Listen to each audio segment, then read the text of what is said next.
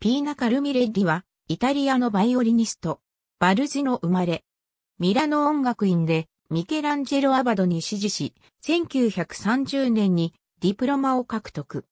1936年には、作曲においてもディプロマを獲得した。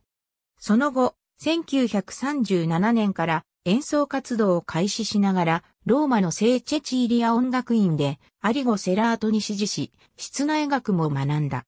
1940年にはパガニーニ賞を受賞。1941年からはローマ音楽院の教授となった。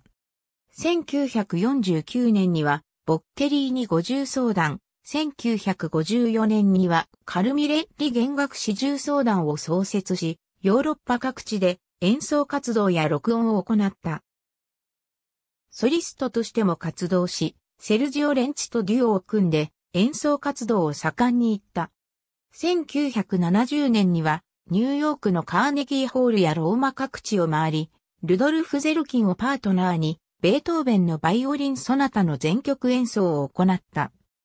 1973年から1986年までは、イムジチがソーダンのコンサートミストレスを務め、1979年からは、フォーレ50相談のメンバーとして活躍していた。